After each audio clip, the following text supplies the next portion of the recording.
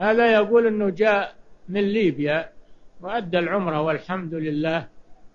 يريد الذهاب إلى جبل عرفات وغار حراء. وش يدخل جبل عرفات وش يدخل غار حراء في العمرة؟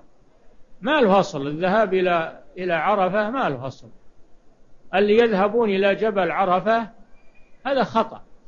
جبل عرفة إنما يذهب إليه يوم عرفة. للوقوف بعرفة في اليوم التاسع من الحج وغير هذا ما يراح الجبل عرفة ما يعني باعتقاد فيها أجر لا ما يجوز. إذا كان يبي يروح يتمشى ما في مانع تمشي. أما أنه يروح يظن, يظن أن هذا فيه أجر وأن فيه عبادة هذا غلط. كذلك غار حراء غار حراء صعب ما وش الداعي إنك تروح تصعد الجبل يوم كامل تتعب نفسك وخطر وأنت صايم في النهار أو في الليل خطر؟ وهذا بدعة أنت تتعب وتعمل بدعة. ما راح الغار حراء أبدا.